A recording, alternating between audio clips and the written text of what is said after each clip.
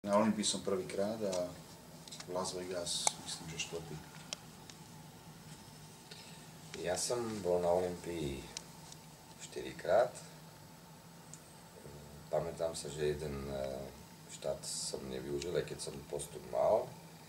A vo Vegas myslím, že 6 alebo 7 krát. Tak ja som na Olympii prvýkrát ako divák a to bola moja túžba ako za celé tie mnohé roky aspoň raz sa zúčastniť tej Olympie. No a v Las Vegas som druhýkrát, prvýkrát sme tu boli v roku 1973, čo je ozaj skoro tuším 42 alebo koľko rokov odvtedy. No a Las Vegas sa sa veľmi zmenil. Ja som mal 2 ročky, no.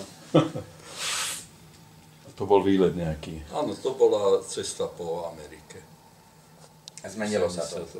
Je, Je, je to, Ohromne, však tie budovy tu vôbec neboli takéto vysoké, to boli ten Golden Nugget, to bola tá žltá budova, tá skoro prízemná, s tým cowboyom, čo tam tak kýva s rukou, Mal tá som- reklama veľká. mal som možnosť, v nejakom obchode sme boli a zobral som si tie postkarty, tie pohľadnice s tým starým Las. Vegas. To Áno. bolo len zo pár budov. Tá ulička tu je tak akože tradičná, ale to bolo tu, hrozne to rastie. Aj za, aj za tých pár rokov, čo som tu bol, mal som tu možnosť, teraz posledné 4 roky som tu nebol, ale za posledných tých, ja neviem, 6 rokov, strašne, jak sa tu pribúda, tých budov, tých hotelov, proste cítiš, že tu je ten príval tých peňazí. Tiež 4 roky som tu nebol a úplne iné to je. No. Ešte jeden okruh. e, Pod akou... e, Ako ste sa tu dostali a prečo tohto roku? Každý z iného dôvodu, predpokladám.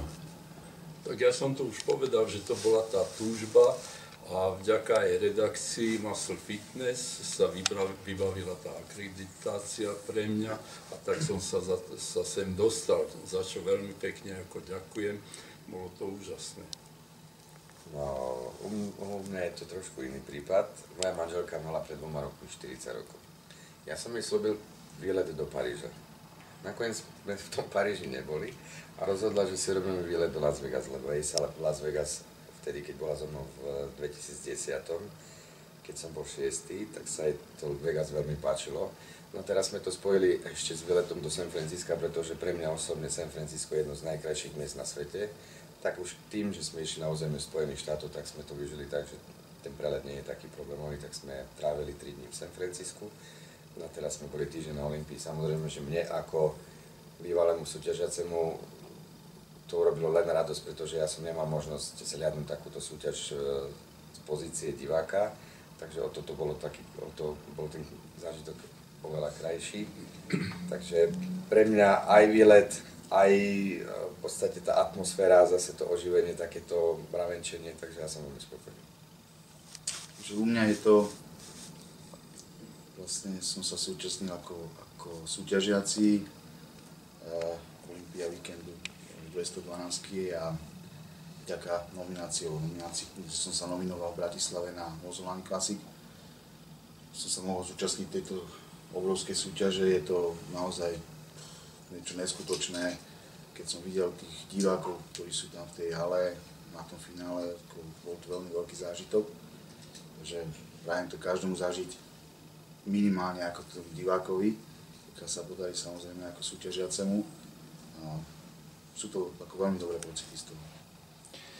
Aké dojmy si odnášate z tejto akcie celkové? Potom e, k téme, ktorá asi najviac zaujíma čitateľov a verejnosť, ktorá sa to zaujíma, čiže Mr. Olympia. A do tretice k téme, ktorá zaujíma takisto nás, kvôli vám dvom najmä, tej 212. Začni, Majo, ty si najviac zainteresovaný momentálne. Takže pocity, um, ako som už povedal, je to obrovská akcia, je to hlavne o show, uh, nedá sa to porovnať s amatérským športom, teda s majstrovstvami sveta, majstrovstvami Európy. Je to úplne niekde inde, uh, ani s tými pohárovými súťažami, uh, čo sa týka profíkov, či už je to 212 alebo Open. Proste mm, je to naozaj top súťaž, ktorá je jediná na svete a je to proste vidieť, je to cítiť, tí ľudia to veľmi prežívajú, je to niečo úplne iné. Druhá otázka bola? Ehm, či si mal čas a kapacity všímať si alebo vidieť finále Mr. Olympia Open? Ja som musel byť vzadu, vlastne my sme čakali, čakali na to finále, tá Open kategória bola pred nami. Nemal som možnosť ani vidieť na, na obrazovke. Nemáš komplexné, nikto Čiže ťažko povedať. E, ja možno to, čo som videl z fotiek alebo to semifinále, tak tak ako povedal Jaro, čo sme sa tu bavili, chýbal tam ten green, pretože nebol tam taký výrazný súboj, ktorý, ktorý sa čakal, že možno trošku to zanechalo, ale hovorím, pre mňa to bol veľký zážitok, čo sa týka tohto. Konkrétnejšie praxi, ako si prežíval tú prípravu, bol si tu dlhšie predtým, zákulisie tých tak, súperov, potom počas súťaže. Prípravu, prípravu som prežíval tým, že Eh, ako si povedal, prišli sme sem skorej kvôli, kvôli aklimatizácii a to, že už mám to odskúšané, potrebujem minimálne tie 3 dní na to, aby sa to telo pozbieralo po tom lete, čo sa mi vlastne aj potvrdilo takto. Bývali sme v eh, hotel Paradise eh, Resort. Mali nedaleko Orleansu. Nedaleko, je to asi 3 minúty cesty s autom odtiaľto. Bol tam väčší pokoj, možno ako tu. Bolo to super, akože nedá sa to porovnať. Keby sme boli na hoteli, neviem si predstaviť, že by sme si tak varili, že by som mal naozaj ten kľud taký, aký, aký som mal tam. A bol som tam eh, s Paťom Štiklicom a s Marianom Horvátom, ktorí mi zabezpečovali všetko ostatné. Čiže mal servis. som všetko, servis, komfort som mal úplne a to som, pre, prof, pre profíka. Prepač, to som mala rada ja, pretože pre mňa aspoň osobne, keď som sa nestretával a nevidel tých súťažiacich, som ďaleko viac relaxoval a zbytočne e, brať, koncentroval sa na seba. brať takú, že keď vidím tých superov, zbytočne tá hlava vlastne pracuje a tá nervozita, tak byť úplne v kľude je lepšie byť na samotke, dokonca ja ešte aj priamo na súťaži som vždy, keď bola tá možnosť, tak som urobil separé, úplne nejaká úplne samotná roz, e, šatňa rozcvička. Nechcel som do poslednej chvíle vidieť ani jedného. Tak som sa koncentroval sám na seba, vyšiel, buď to vyšlo, alebo to nevyšlo, tak je to najlepšie. Myslím, že aj podobne. Áno, áno, áno, určite. Oni chcem poďakovať aj týmto mojim dvom kamarátom, ktorí naozaj maximálne vychádzali v ústretí a ste starali sa o mňa. Znášali tvoje prípadné vrtochy, neboli? Alebo ja ich. nie, nie, akože hovorím, že sme super partia, čiže naozaj je to, je to veľmi dôležité mať pre, vedľa seba práve takých ľudí, ktorí chápu, eh, čo sme, prečo sme sem prišli, aký máme treba cieľ a tak ďalej, že, že stoja, stoja pri tom človeku, čiže ja, ja našťastie som takých ľudí mal vedľa seba. A tú samotnú súťaž potom, tú atmosféru a veci okolo si ako vnímal v porovnaní s množstvom iných, ktoré si doteraz absolvoval na rôznych je to, je, tak, ako som povedal, je to, je, je to topka, proste to není nič, nič uh, iné, není nejaká iná súťaž na svete, ktorá má takúto atmosféru a celkovo tá show, ktorá je okolo toho, proste, ale určite pochopil som jedno, že pokiaľ človek niečo chce v tom profi uh, urobiť, tak musí tu žiť, alebo musí musí súťažiť v tej Amerike, musí sem chodiť, musí sa pohybovať medzi nimi, komunikovať s tými ľuďmi. Takže videl som, on je to podobné ako u amatérov v tom, že uh, tí rozhodcovia už poznajú tých, tých pretekárov, stretávajú sa na tých pretekoch, už podávajú si ruky, už, už je to iné, proste už je tam nejaký taký vzťah. Videl som, uh, že tí Američania alebo tí pretekári, ktorí sú tu už dlhšie, takisto už sa poznajú, už sa poznajú s tými novinármi, s tými fotografmi, proste je to, je to niečo iné, ale pokiaľ tu ten človek není, tak tie vzťahy nikdy nebude mať. No, takže nemôže ani pokračovať, aj čo sa týka sponzoringu, aj týchto vecí. Uh, určite sú tu väčšie šance uh, v tom, že ale musí tu človek byť, musí, musí medzi nimi žiť, musí sa tu pohybovať. Proste...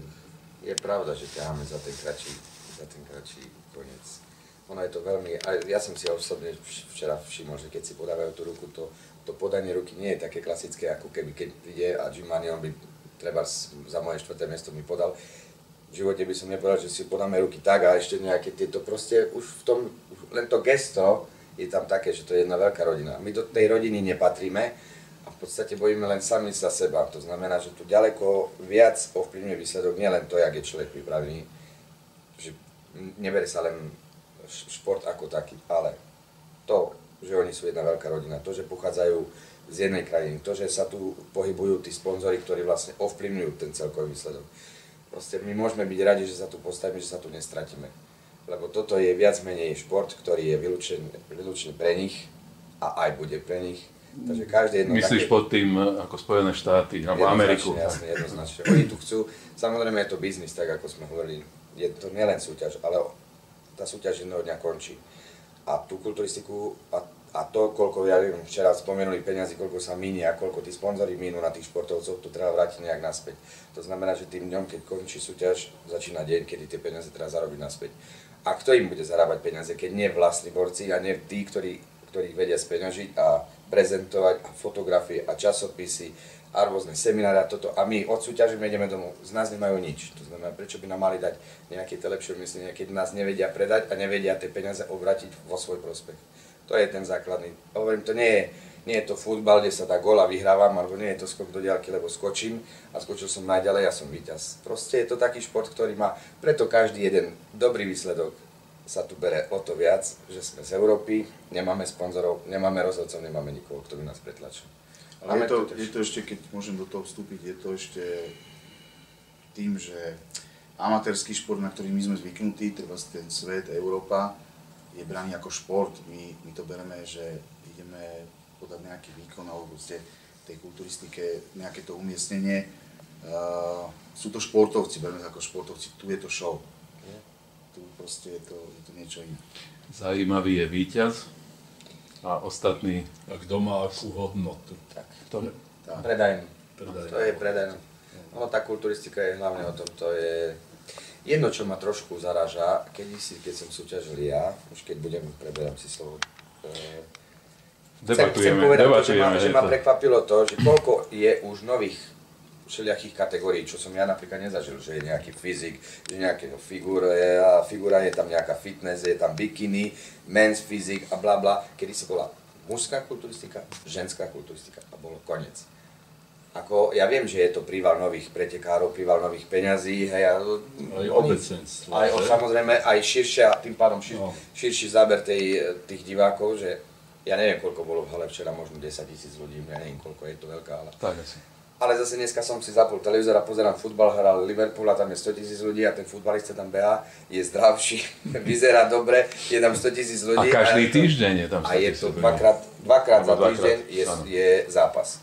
Ale Čiže to je ten pohľad, hej, ten šport. Ako má hodnotu? No, niekoľko miliónov. Nie, že ja som prišiel a bol som štvrtý, čo by on bol štvrtý tak, kde na nejakej, ja neviem, Ligy majstrov a zarobí trošku iné peniaze, ja som tu bol v strate a oni sa pohybujú, ale úplne v iných číslach. No, to, to je ten šport a šport. Ale to je naša voľba, my sme si ten šport vybrali, my sme si vybrali ten smer, my sme sa chceli trápiť, chceli sme dobre vyzerať človek nastúpil do vlaku, už sa ťažko z toho vystupovalo, tak už keď aj samozrejme človek by mal zhodnotiť svoje predpoklady, genetické schopnosti a ja neviem, čo, čo môže vyťažiť.